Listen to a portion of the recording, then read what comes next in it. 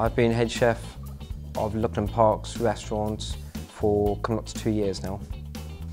My role of the Park restaurant is to run the kitchen in the absence of Hywel, maintain standards, training of the, the younger staff, the, the junior staff, maintaining food costs, working closely with the, the other head chefs of our other two kitchens here at Lucknam Park.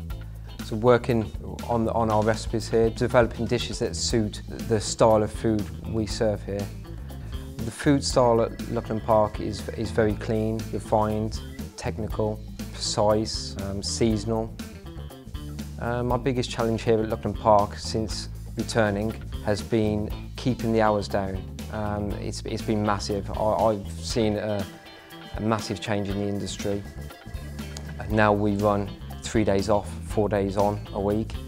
Um, so that, that has, has been a big challenge in maintaining standards while giving the, the team their time back. they, they love it. Um, they're, they're really happy, you know, um, with it. It's, it's trying to find that balance between work life and social life and home life. So um, it, the team have, have really taken to that. Um, I've evolved from managing a, a bigger team. It's been a big challenge. Um, I take, uh, I kind of bridge the gap between Hywel and, and the younger staff. So um, I'm, I'm seen to be quite close with them because I work with them uh, hands-on daily, but also I'm the eyes for Hywel. So, well, menu development here. Um, I mean, the menus are Hywel's menus. Um, I will work on dishes, and we work on dishes together.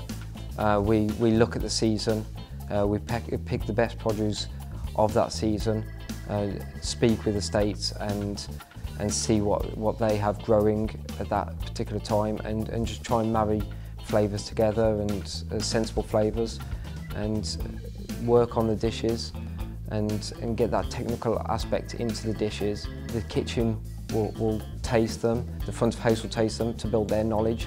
Uh, for, that's really important. We get recipes put together for all of our dishes here, so there's the consistency um, of what we're doing every day.